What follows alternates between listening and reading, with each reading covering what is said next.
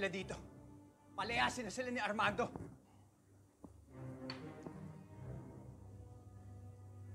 Lucas, makinig ka sa akin. Sa ngayon, hindi pa natin pwedeng kontrahin si Armando. Pero sa oras na magkamali ng kilos yung mga yan, tayo mismo magdidispatcha sa kanila.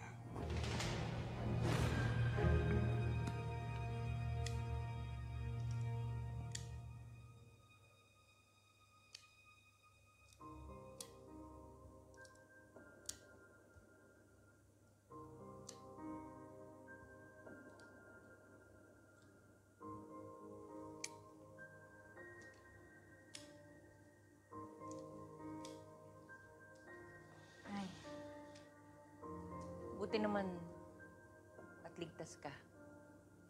Sobra kami nag-alala ng tatay mo sa'yo. Pasensya na ho ah. Sakasalamat ho. Pero wag ho kayong mag-alala. Sayang naman ho yung mga pagsasanay ko kung hindi ko naman matatapos yung mission. Kayang-kaya ko ho yun. Ano ba talaga ang nangyari, Mara? Nay, sinundan ko kasi yung target eh. Tapos nagkahiwa-hiwalay kami ni Samuel sa ni Lucas. Hindi ko rin namalayan na napalibutan na ako ng mga kalaban. Akala ko nga ako katapusan ko ni.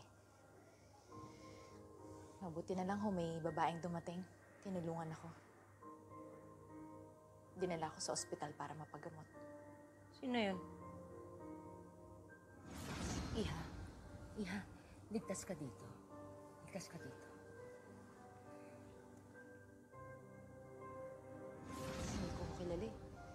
Umalis na rin ako agad. Baka mamaya makilala pa ako. Delikado. Ang bait naman niya, tinulungan ka. Oo nga. Sige na, alam kong pagod ka. Magpahinga ka na. Sige ho.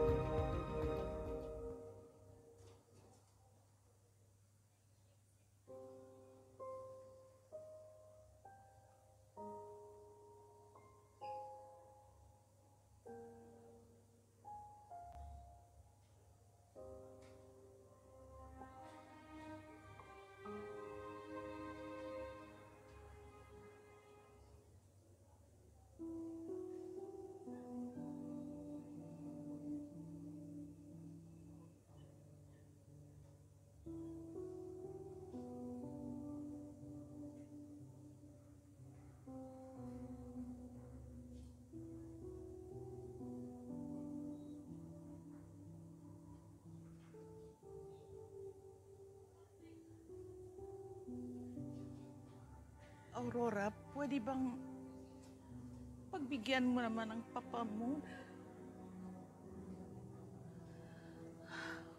Wala siyang ibang hinihiling kundi na bumalik ang pagmamahal mo sa kanya. Araw-araw yan ang dinadasal niya. Na makauwi ka at mahalin mo siya. Alam kong maraming hindi tama na ginagawa ang iyong ama, pero kailangan gawin niya yun.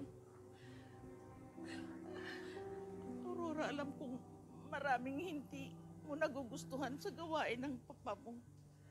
Masyado siyang mapusok, matapang, agresibo, madaling magalit, pero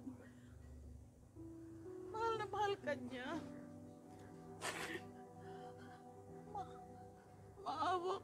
Bigyan mo naman siya. Ikaw ang pinakamahalaga sa buhay ng papa mo.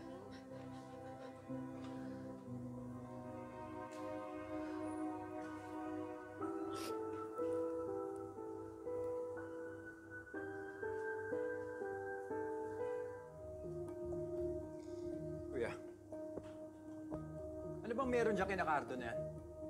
Bakit grabe na lang ang pagtitiwala ni Armando sa kanila? Hindi ko maintindihan eh. Hindi ko rin alam. Pero palagi na lang sinasabi ni Armando na magtiwala daw tayo sa kanya. Ang hindi ko lang maintindihan, bakit hindi niya sinasabi sa atin kung ano yung mga plano niya? Hindi kaya nawawala na ang tiwala sa'yo ni Armando? sabihin nyo, baka isang araw ay magising na lang tayo na si Cardo nang namumuno dito. At sinusunod natin ang lahat ng inuutos niya. Hindi mangyayari yun! Kinakailangan natin bantayan ang bawat kilos ni Cardo at ang buong Agila. Hindi natin pababayaan na makuha nila lahat ng pinaghirapan natin. Tayo ang naghirap sa lugar na to. Tayo ang nagsakripisyo para makuha ang tinatamasa nating buhay ngayon.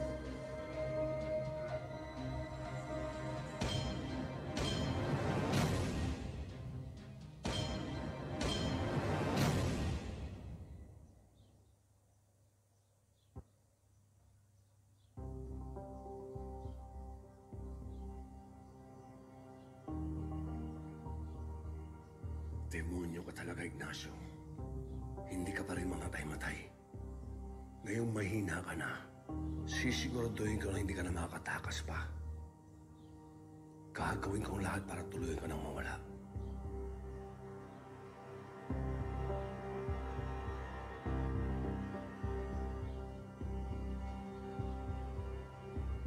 Anong iniisip mo, Armando? Hindi lang makapaniwala na buhay pa yung demonyo mo. Kailangan pagplanuhan natin maigis pagpatay sa kanya. Kailangan natin si Cardo. Gagamitin ko ang puwersa ng mga agila para sa pagpatay sa kanya. Palagay ko hindi magiging madali na kumbinsihin si Dalisay para, para tulungan tayo. Diyan ka nagkakamali, Lolita. Dahil nakuha ko ng loob ni Dalisay. Kaya ko na siya paikutin sa mga palad ko.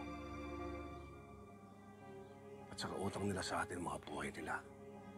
Pero si Mara pa rin ang kailangan pumatay kay Ignacio. Oo, Lolita. Dahil si Mara na ang makakapagbigay ng pinakamasakit na ganti kay Ignacio. Kuya!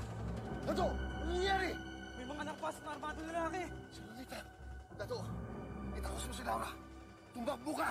Huwag ka na lumingon! Sige na! Hanapin si Lolita!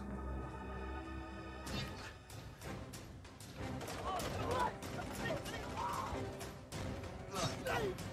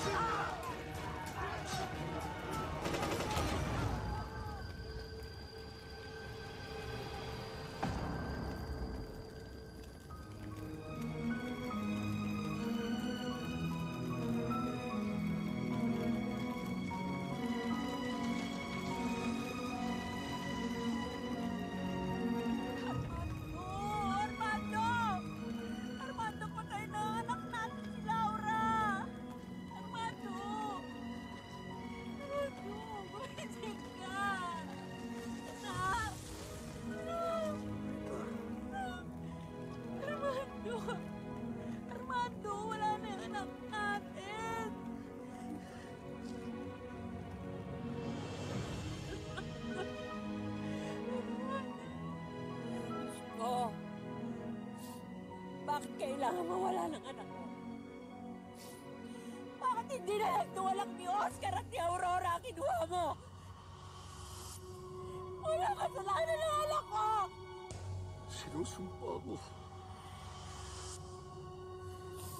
Magbabayad ang lahat ng kasalanan sa pagkamatay ng anak natin.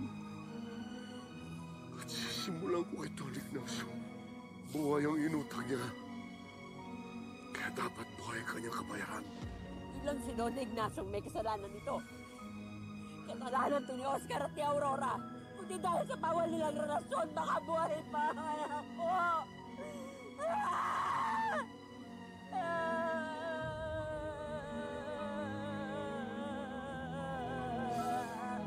Gagamitin ko ang anak ni Oscar at ni Aurora. Siya mismo ang papatay kay Tony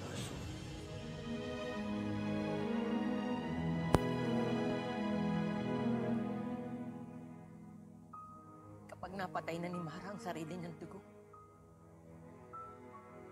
Doon pa lang natin maipaghihiganti ang sarili nating anak.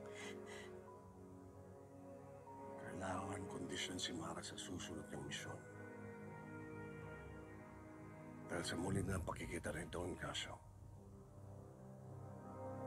di siya pwede pumalpak.